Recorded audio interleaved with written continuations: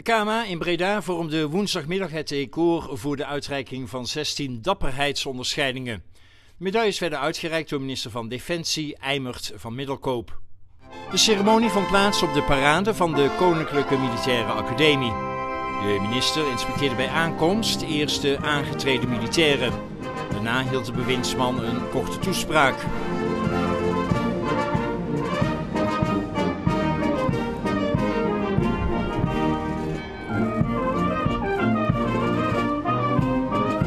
Welkom op deze bijzondere plek en welkom op deze bijzondere dag.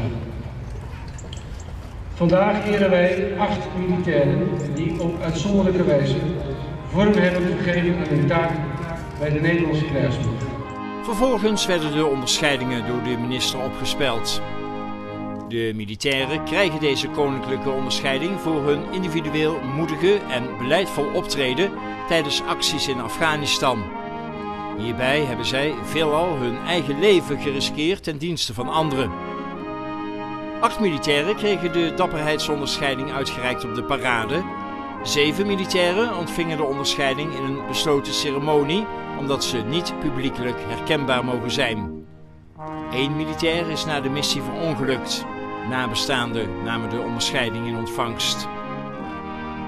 De ceremonie eindigde nadat de minister van Defensie en de commandant der strijdkrachten de parade hadden verlaten voor een receptie op het kasteel van Breda.